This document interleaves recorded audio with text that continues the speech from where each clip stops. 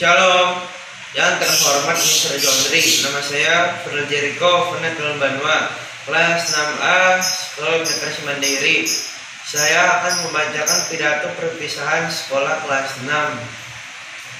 Shalom, yang terhormat Ibu Kepala Sekolah serta Dewan Guru yang selalu setia membimbing kami dan yang saya sayangi teman dan adik kelas sekalian.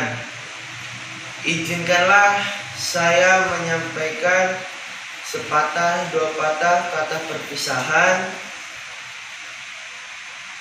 Ibu kepala sekolah dan dewan guru yang saya hormati, hari ini adalah hari yang bersejarah bagi kami selaku murid-muridmu karena sebentar lagi kita akan berpisah tidak akan ada lagi kami dengar suara lembutmu saat mengajari kami menulis dan tidak akan ada lagi kami lihat senyum ikhlasmu ketika kami keliru